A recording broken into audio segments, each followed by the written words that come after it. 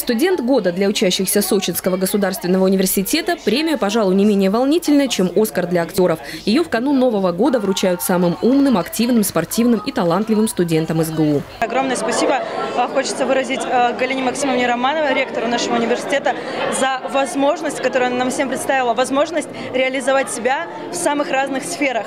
Не только в учебе, но и стать личностью. Такую возможность получила и Сати Карутюнян, студентка четвертого курса юридического факультета, стала победителем в номинации «Интеллект года». Статуэтка, говорит Сатик, это итог ее активного участия в научной жизни вуза. Во-первых, это конференции, на которых я участвовала, и э, дискуссионные площадки, круглые столы. Все это дало результат. Это для меня большая честь, э, так как наука составляет большую часть моей жизни. Мне очень приятно это достижение для меня. Всего же помимо премии «Интеллект года» были названы обладатели статуэток в номинациях «Чемпион года», «Патриот», «Волонтер», «Объектив года», «Активист года», «Профлидер-2016» и «Талисман года».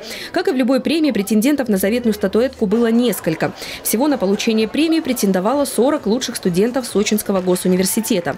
Хотя таковыми, говорят, в ВУЗе можно назвать гораздо больше студентов. Они активные участники всех городских мероприятий. И не только. Учащиеся университета, волонтеры волонтеры Олимпиады и предстоящего чемпионата мира по футболу. А сам ВУЗ – один из организаторов Всемирного фестиваля молодежи и студентов, который пройдет в Сочи в следующем году. А еще в этом году Объединенный совет обучающихся в СГУ вошел в топ-10 вузов страны. Галина Моисеева, Ольга Десятова, Алексей Давыдов, телекомпания ВКТ.